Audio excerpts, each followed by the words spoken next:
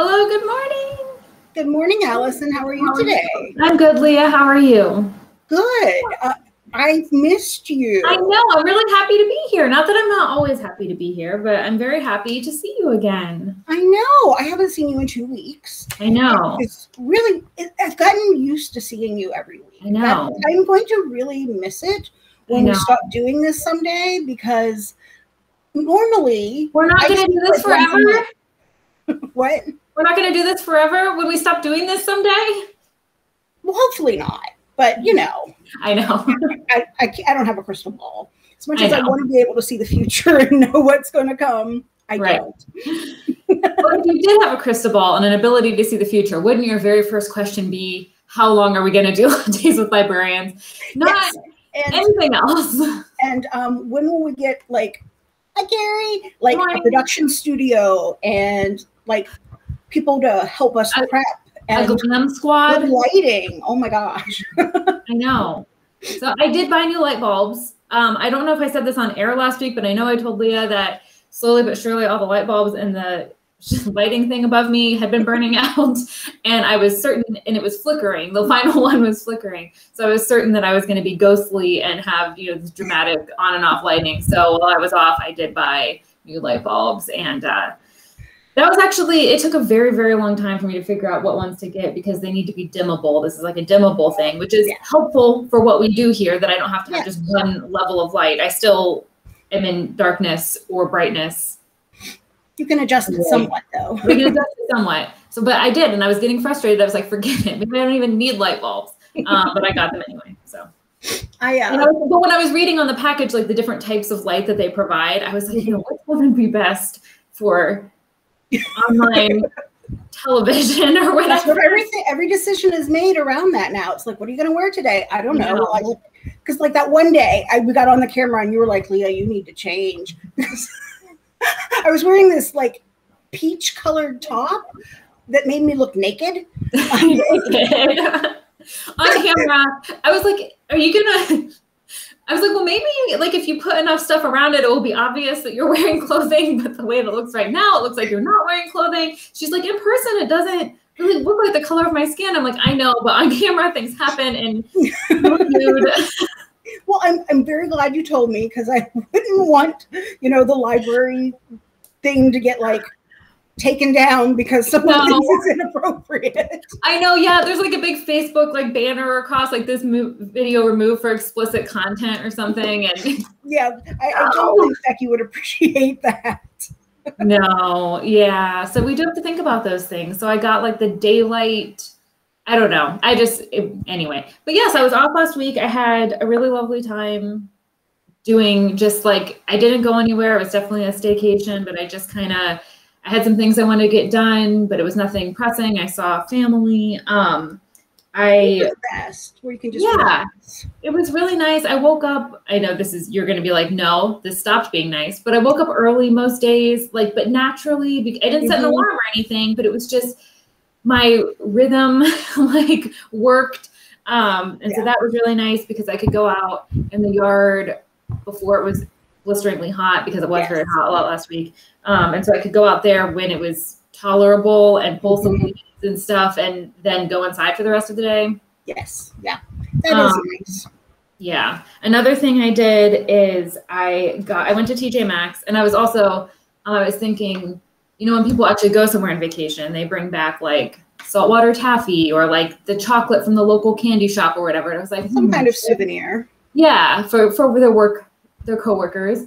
And I was like, hmm, I guess I should get something from the checkout line at TJ Maxx or maybe a bag of chips from the Meijer. It's not part of Meijer because I didn't go anywhere or do anything. But I went to TJ Maxx and I got this notebook that I'm using now to contain all my lattes ideas. So we can't quit doing this until I've gotten my use out of this notebook. Although it was only three dollars. Um, so um, but it has these like ostriches on the cover and then like shiny gold dots. And I know you'll like it.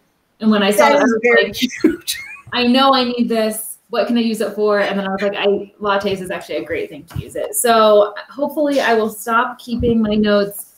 I haven't transcribed because we write down a lot of ideas. We talk about a lot of things and we don't talk about them on the show. So I have like keep this paper because it has something we might talk about in the future.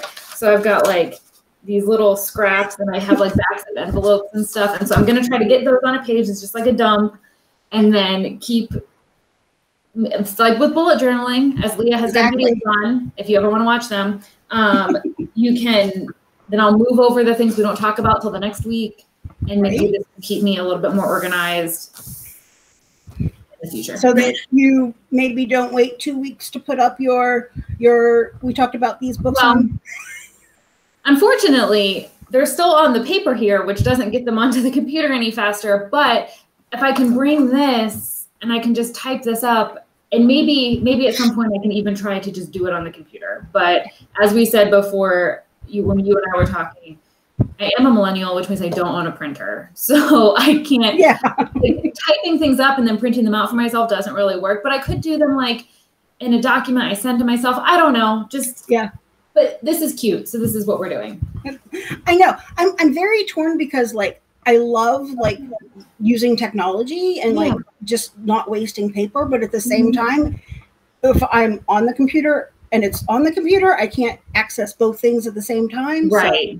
Yes, that's because that's the thing about doing this show. If I want to talk about these books, I can't have it up. I would need another Another monitor, and I want a glam squad before I want a second monitor. Honestly, if you're looking for someone to donate something to our show, I want it and also when you've got a second monitor, you're looking at that and not at the camera. and not at the so- yeah. Right. Yeah. So that's a problem. Anyway, so yeah, what did you do last week? Um, what did I do last week? Um, I had another fender bender. Um, this is the third time I have been hit. I've had a car accident. Well, actually, it's the fourth time, but the one was just so minor. I think Oh. the guy's foot slipped off the brake when we were in line at Dairy Queen. So it was Not it much was- speed there. no, not at all. Uh, but Oh, this is like the fourth accident I've had in this car. and it's a None of them car. I mean, like it this was. car is cursed. It was a new vehicle too. It wasn't Yes, like brand new. Yeah. I'm sorry and to hear that. I, I'm never going to do that again because apparently that's very bad luck for me. Um, like I had, it's like once a year, someone hits me, and it's I'm never my fault. Like right. I, I remember the one from twice I yeah. was standing still. I remember the one where you got hit from the side. Mhm. Um, I don't remember what year, what year's accident that was, but that one was was pretty crummy, and that was I would call that more than a fender bender. Yeah, that one was. Um, a bender. But luckily, like no one was hurt. So that's Oh like yeah, oh yeah. Well, right. We're we're talking on the sliding scale of like accidents where no one was hurt. So already we're very grateful it was just Right. that. Yeah. But that was like a, your door and everything. Yeah, yeah. Like they had to replace panels and everything. It was it's all cosmetic damage, but still, Right. I know. this is like the third time, and it's just I really think that I am cursed. Mary says that I have inherited her car luck. Um, Yeah. I'm ready to pass it on to someone else. If someone else wants it, contact me, and I will. Now I'm kind of concerned. We all know that I need a new car and it's not happening anytime soon. I'm going to drive it into the ground. But now I'm concerned that somehow it will transfer to me. Um, we, I, I, I, my sister actually bought me a. She made me a big uh, sage thing. she had a dream about um, creepy Nick is like sucking my energy, and he's like, um, yeah, like there's a dark force around me. So she made me a sage thing so I could smudge my house, and I thought, you know, maybe I'll smudge my car too. Yeah, why not? Just, Get rid of whatever bad juju I got Yeah. right now. So yeah. I'm sorry to hear that. it, it's just that's what's going on. That's just my life right now. I'm sorry. The other thing that I did last week, um, I did achieve what I set out to achieve. Well, so sort of. I'll explain. Okay. I did. I read The Great Gatsby. I finished that Saturday, the first Saturday that I was off. Um, I read that in one sitting, and then and I just I just like it so much, and I can't even put it into words because it is just a depressing romance. But I just I like it. And then um, I started to read Nick, the one I told you about, but it was very boring. I gave it 50 pages. and the person who had told me that they didn't like it was right in that you didn't really it didn't feel like reading the great gatsby it Yeah. didn't feel super related to that and then on top of that since it it wasn't something i wanted to read anyway like i wasn't engaged with it on its own and then it didn't Yeah. really feel like it was gatsby related so then i just kind of petered out so i did deci- decided not to read that one um Okay. but then but like i said i gave it the 50 pages and i just wasn't into it. And then i did read Cho- the chosen and the beautiful. The author's last name is vo vo um and i really really really liked that. That was told from jordan baker's perspective who is Okay. daisy's friend the golfer. And The has- what? Nick talks about how well she lies. Yes, and that she's careless. She's a bad driver. Um, she's tall and thin, and um, Maybe cheats at golf. and maybe cheats at golf. Um, and but the, Nick says they're all careless people. But yes, he's the one that she she's the one that he dates. Yeah. Throughout the Great Gatsby, and um, throughout that summer, and this book has an element of like urban. I would call it maybe like urban fantasy, even though it's not necessarily an urban Mhm. setting. In that um, there's like there's like demons. There, you don't see the demons, but there's like references to like demons and a sort of demonic situation in the same way that there's like bootleggers. There's also Okay. people who kind of like sell their soul to the devil or to demons. And it's not, there's nothing else about them really, but it's just this sort of like fantasy underworld that exists Okay. and can kind of be tapped into. And then there's also a bit of magic to it um, as far as like crafting things out of paper that can then come to life. And um, so there's that, which I know sounds like nothing like the Great Gatsby, but it is put in there in such a way that it feels authentic to the story. Reading the characters in Vo's book feels like reading the characters in Fitzgerald's book, which I think is incredible. This is exactly what I would want an adaptation, for lack of a better word, to be, even though it's from a different character's perspective. It's what I would want an adaptation to be because it just it feels like it's building it's giving something new to the book that already mm-hmm. exists, but building on it in a way that still feels like authentic, even though it's obviously completely different.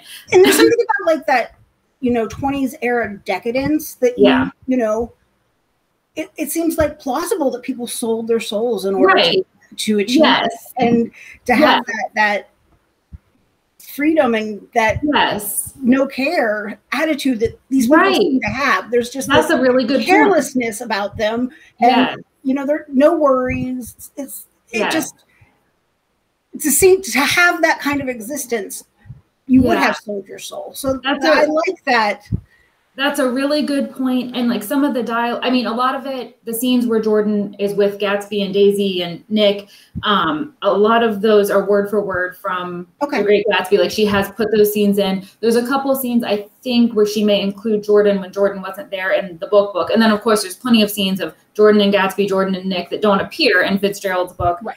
Um, but it just the like I said, the language and the interaction, it feels it still feels authentic to the original, even if it's something completely different. So I do recommend that if you're a fan of the book or just a fan of how people reinterpret things. I really did like this. Nick just kind of fell sort of flat for me. I see we have a comment from Patricia who says that she gives a book 100 pages, which good for you. That feels generous to me. It was hard to hard to make it to 50 and something that I don't like. And then if she doesn't like it by then, she stops reading it, but very rarely gives up on a book. Um, I commend you for that. I definitely will stop books because I just feel like there's too many to read. I don't have enough time. My to be read pile is much too large. If I'm not if I'm not Mhm. enjoying it, I usually stop. One of the books that I read this last week, um, I found myself like reading it as much as I possibly could in Mhm. order to get through it very quickly Yeah. because the subject matter disturbed me. Oh, sure. It was um, Fiona Barton's uh, The Widow. It's Okay. it's a couple years old now. Um, Mhm. She's got a, a couple books, and um, I think this was like the first one in this series. And it's like I don't I think they're like very loosely related with like the reporter, Sure. newspaper reporter type of common character. I think don't quote me on that because I've only read the Yeah. first book. Um, yeah. But in this character, there's um, a two-year-old child that goes missing, and um, it's told from the perspective of like the widow of the main sub- suspect, the newspaper Mhm. reporter. The mother has she you get her perspective just a couple of times, um, Mhm. and the detective working the case. Like those are like the main characters from the perspective that you get. Yeah. And it's very disturbing reading about a child going missing and like like the world that they suspect, you know, kidnapped her. It, it Mhm. was it was Yeah. it was I just wanted it over. It was a You wanted very read good- it. It it was very like well written. you didn't quit it. The the the story, Yeah. like the way it all came together and like and like when they have a suspect, like they think it's him, but they can't prove it. And it, Yeah. it just was very interesting. It was a very good story. But I just found it so disturbing that I just wanted it over.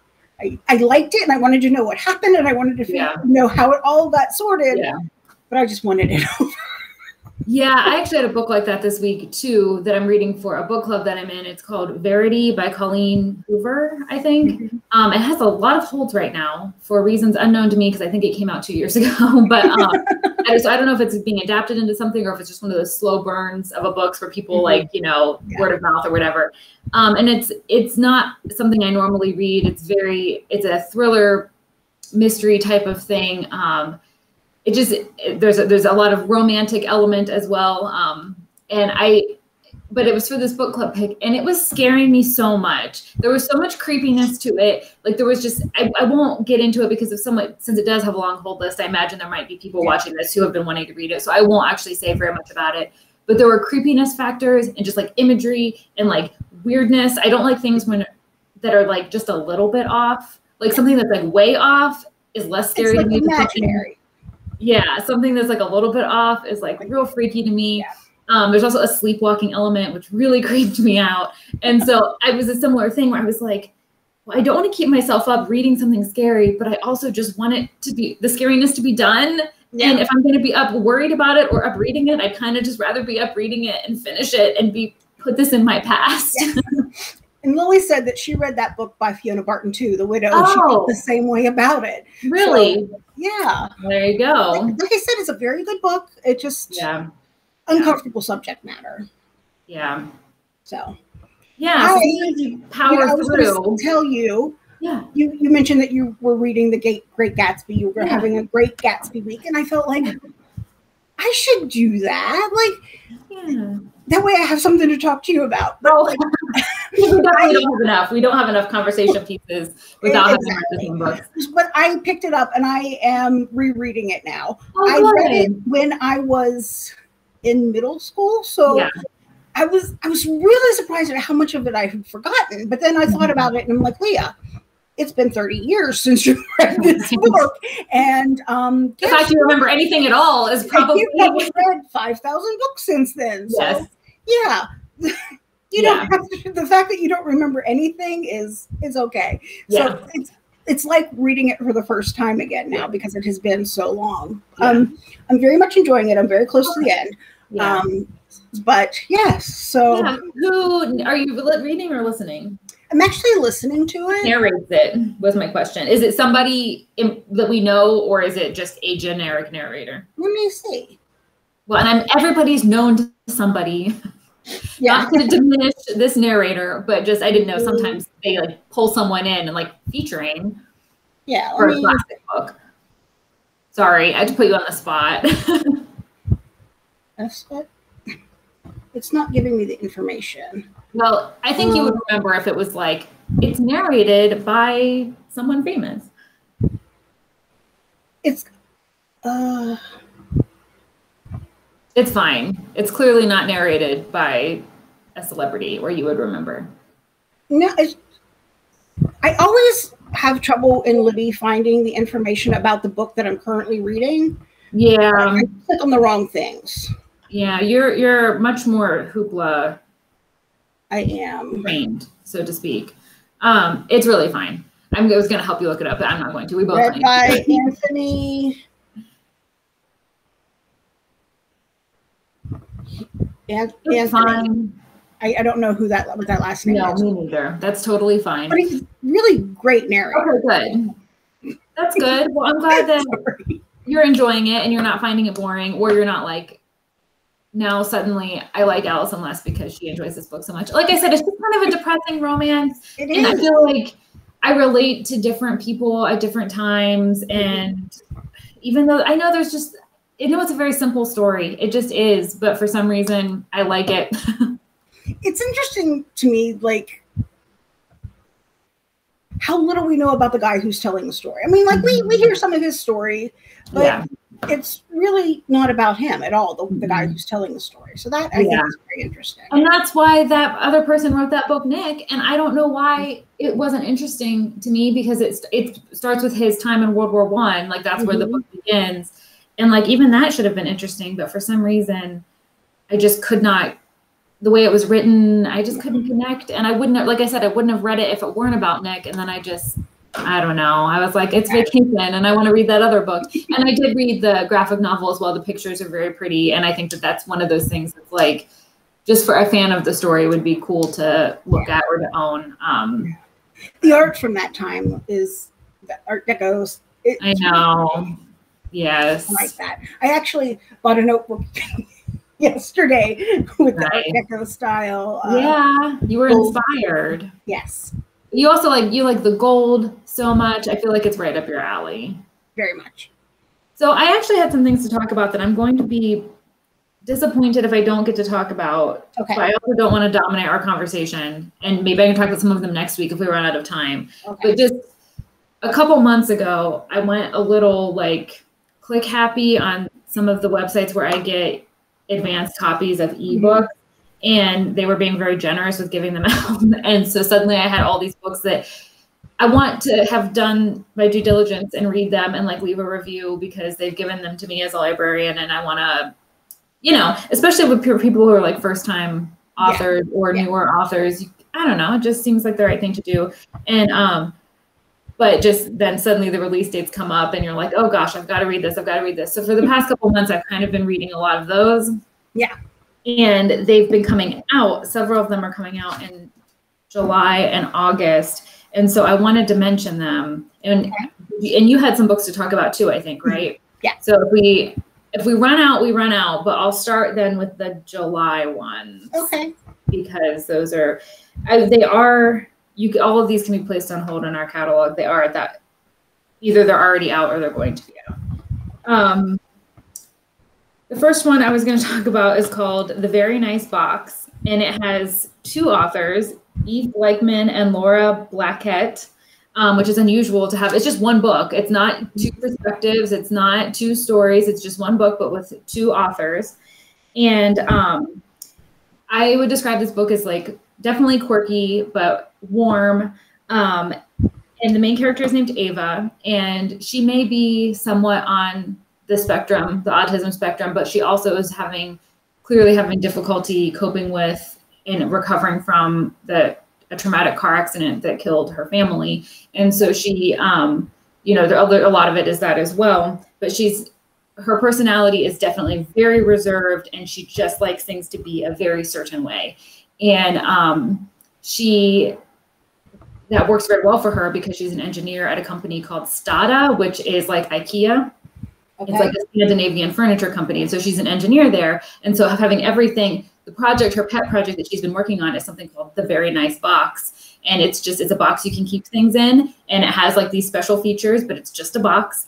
And um, so, like I said, her personality really works well there until a new, um, like a new boss or supervisor comes in and is trying to like change the, change the workplace culture. And um, so she's, and there's like so much like of like today's like buzzword workplace culture at those like tech startups and stuff so much of that in there. And then also hilarious wonderful on point scandinavian furniture names. Um like the, the authors do such a good job of keeping those like consistent and like hmm very typical.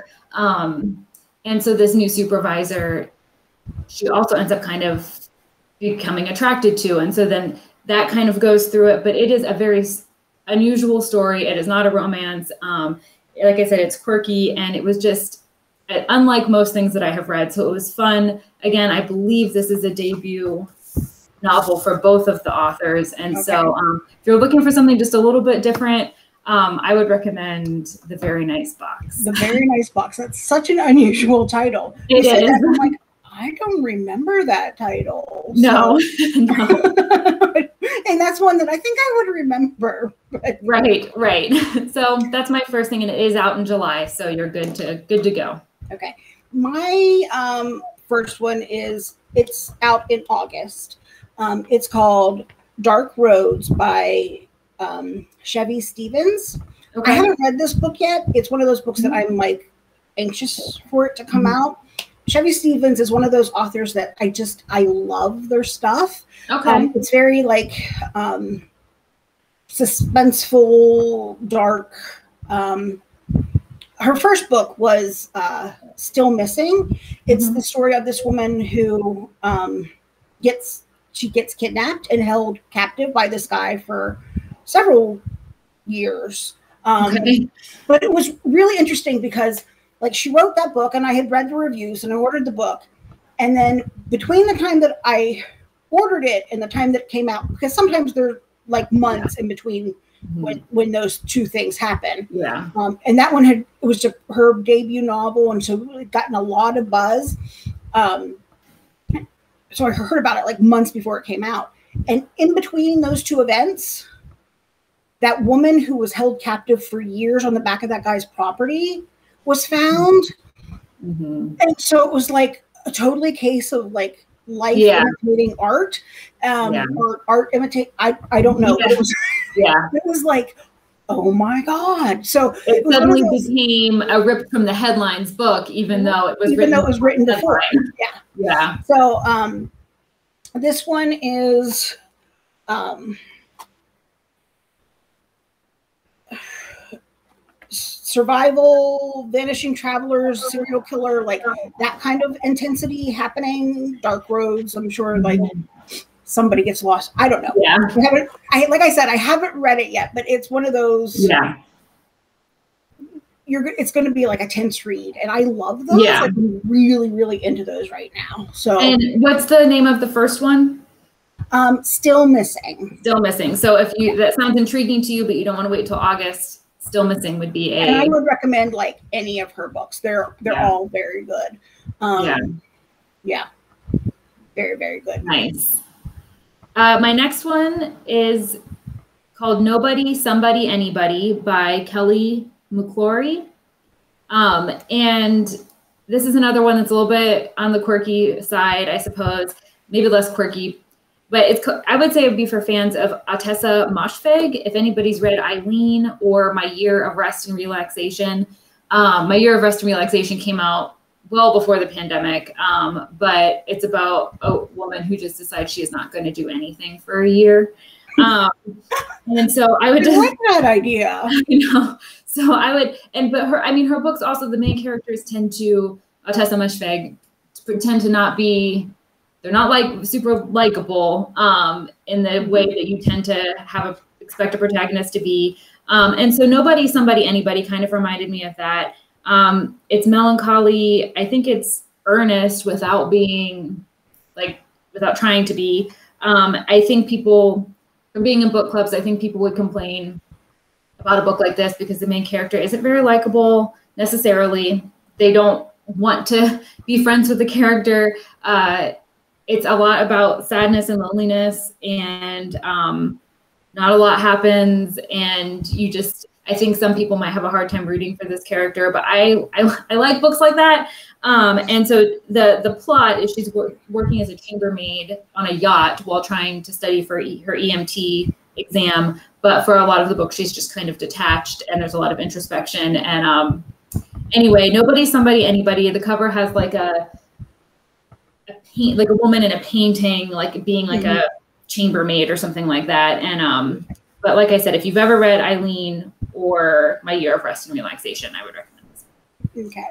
Um, one book that you've talked about a couple times this year because you read it was um, Final Girl Support Group.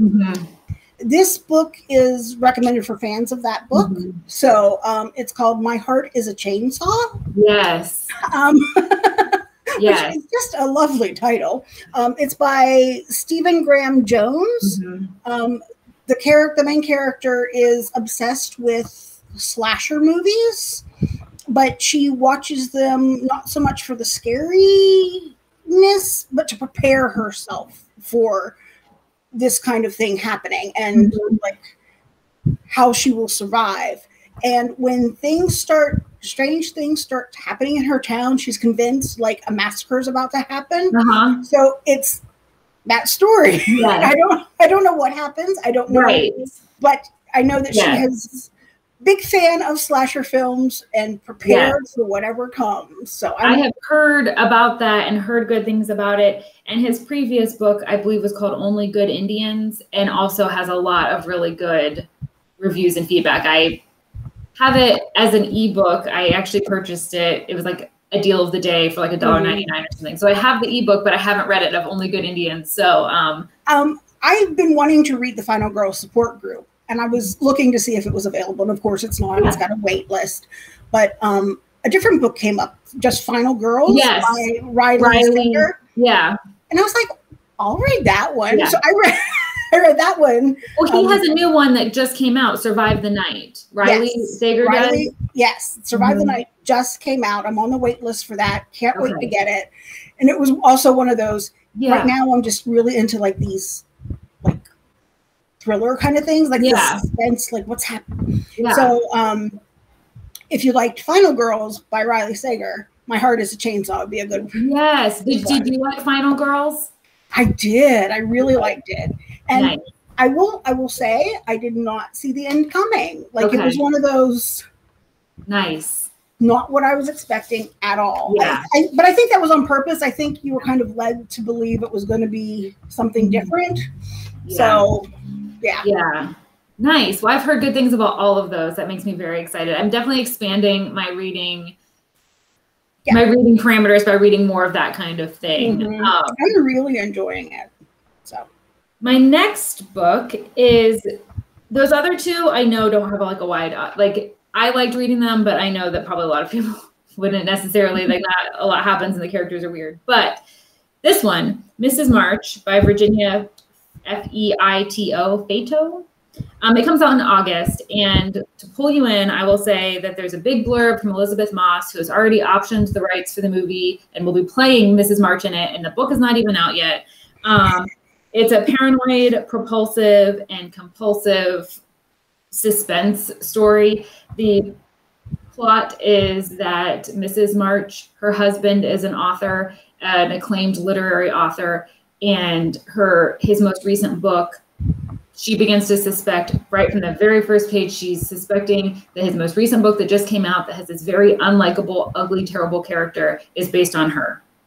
yes. And she totally falls apart. She is the most unreliable narrator I've ever encountered in a sea of unreliable narrators because there's like never a moment where she was reliable and now has become. I just.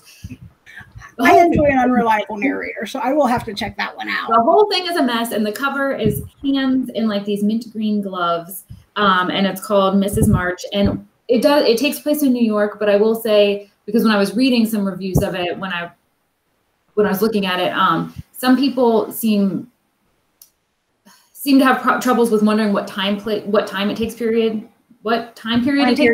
period. Um, it is set in New York, but it feels like an old fashioned New York, but it doesn't also doesn't feel like an old fashioned New York. And the, I read an interview with the author, and she's like, "Well, that was intentional. I just cobbled together a New York that sounded like sounded like New York to me. That had you know these highlights that make me think of New Yeah. York, and it's not. No one's pulling out a, an iPhone, but Mhm. it's also not clearly in the 50s. And so, anyway, reader be warned, you're never gonna know.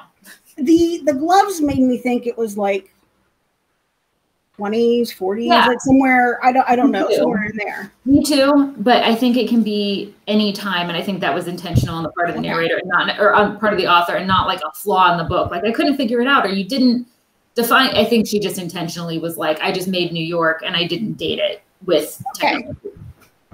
That's that's interesting because Yeah, like cell phones have just become such a part of our life that they're integrated into stories now so well. Of course, Yeah. the batteries die. The battery's always dead. I know, right? Um, one that I have been hearing a lot about. Um, it's by T.J. Newman. It's Mhm. called Falling. Um, like I, I've just I've been hearing a lot of buzz about this book. Yeah. Um, it's about a pilot who is given this. Um, he has to make the the choice of either crashing the plane that he is flying with like 200 people on board, or his family is going to be murdered. Um, and so it's just like I, I don't know anything other than that, except like on the cover there's like a plane falling. Yes. I think I can picture, and aren't the letters kind of long? the letters are like Yeah. yeah, so everything is like falling. So I Yeah. don't lead you to believe maybe the plane crash he chooses that route, but I don't know. Um, Yeah. That's not So- a, not a great choice. Not a good position to no, no, not at all. But No. um, I'm sure he finds a way to save his family and the and the plane plane passengers. One can hope. One can hope. Or Um, neither. Or they all they all die. or it's just fake. I don't know.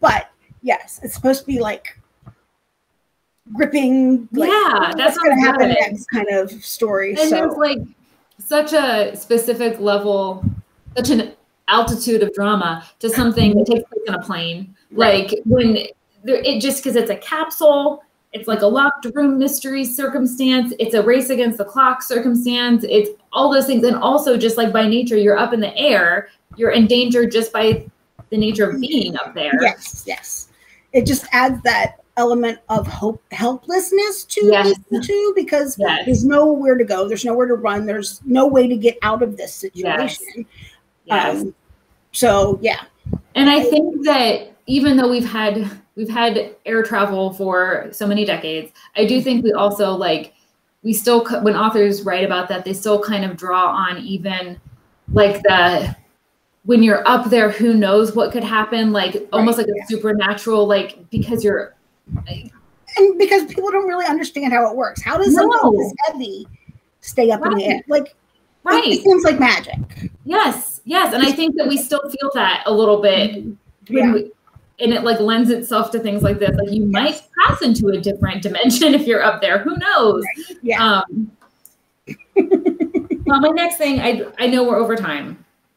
When are we not? But um, there was a book called A Psalm for the Psalm P S A L M for the Wild Built by Becky Chambers, and it's apparently going to be a series called Monk and Robot.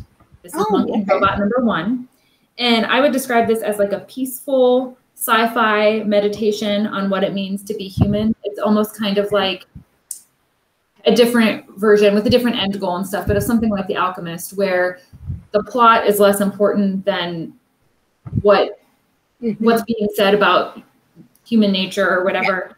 Um, and the general plot is that it's been centuries since robots gained self awareness, laid down their tools, and absconded to the wilderness.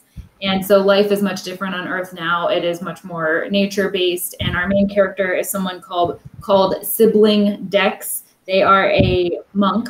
They're a tea monk, and so their calling is to basically make they have like this traveling cart and they make tea for people and the people come up and they make them a blend of tea that's like suited to this person's distress or concern. Okay. Um, it's not a Lily drug. does that for me. Yeah yeah that's very exactly. It's just the it's the care and concern. They listen to their problems. They make them you know a special blend of herbs that's going to soothe them and then you know the person's on their way. And then but he meet or sibling dex meets a robot and um, the robot is tasked with finding out what do people need. And so i think the ser- series is going to go on to have the two of them together trying to figure out what people need. And again it's one of those things where the story is a little less important than the conversations that they have about it. But um, i saw it repeatedly in almost every single review described as cozy. So if you need and it's short. So if you uh, sci- sci-fi things could be you know a thousand pages. It's not sci-fi in that way it's like 160 pages and it's just a cozy pleasant warm cup of tea type of book that I'm always fascinated by books with like robots and self-awareness. Like that's Yeah. one of those things that just it's fascinating to think about. So Yeah. that is one that I will have to check out because I didn't realize that's Yeah. what it's about. Yeah, and I think that that will come into play too as the books go on. Like the robots did become self-aware, but they are not human. Also, Mhm. so what? What's the difference between consciousness and humanity? And yeah, yeah, Just like with the advances in AI that are happening and like self-driving car, like it's just like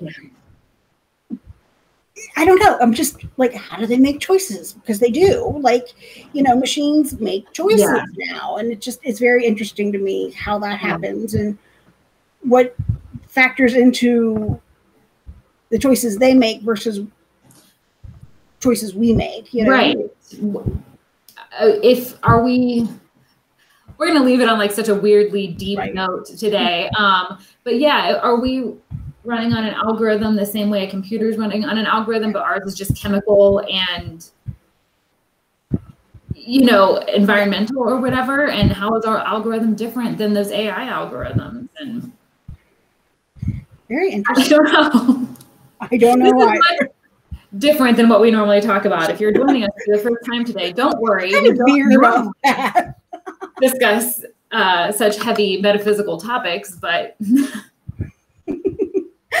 probably ought to call it. For the day. I think we should leave it there. There's not much to say beyond that. Um, Yeah. Next week, we'll delve into free will. We won't. we won't. We will keep it light.